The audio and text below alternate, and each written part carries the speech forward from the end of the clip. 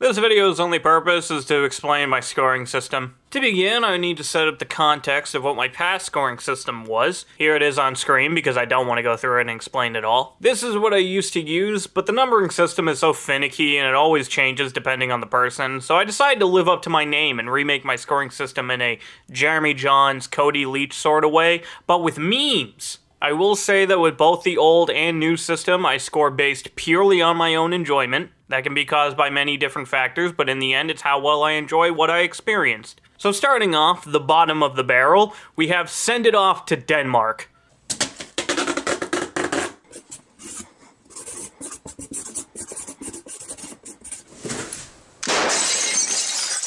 This is where the zeros belong. There's not a single thing I like from the thing being discussed, all it does is cause me pain and agony. Next up is Yikes Stadium. Yikes.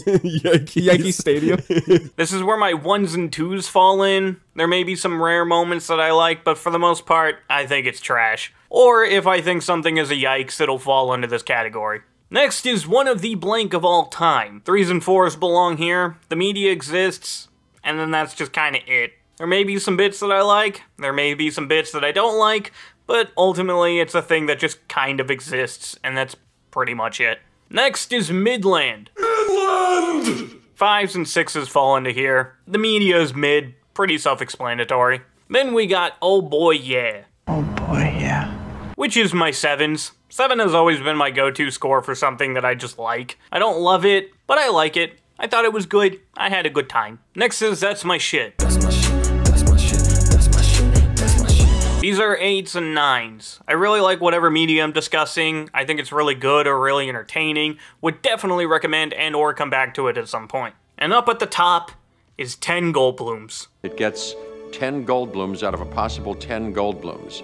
That's my highest rating. This is obviously 10 out of 10. The thing's perfect in my opinion, not a single thing I dislike, truly wonderful.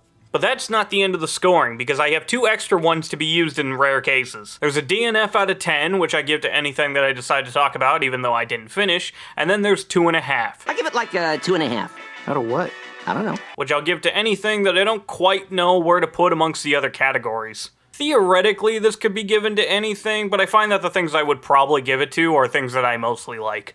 And that's about it. I guess we'll see how long I go using this.